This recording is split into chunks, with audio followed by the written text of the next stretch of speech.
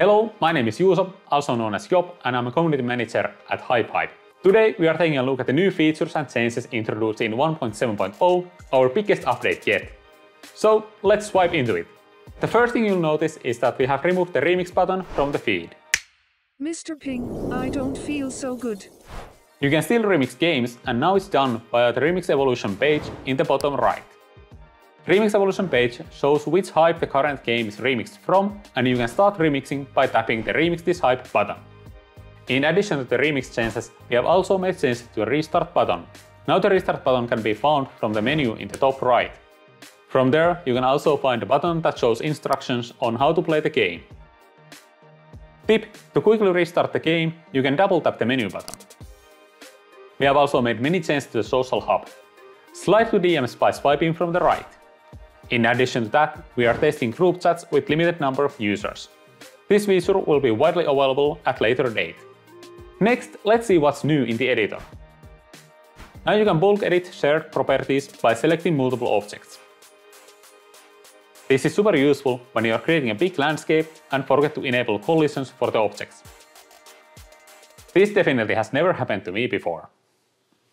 Never. We have also changed the asset library.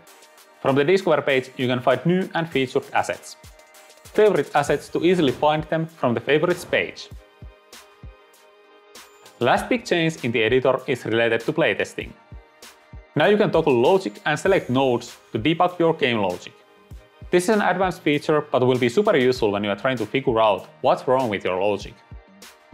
But let's not forget about the smaller features. Broadcasters, broadcast listeners, particle effects, and formula nodes now get names automatically. The name is based on a signal, effect, or formula, and you can override that by giving the node a name.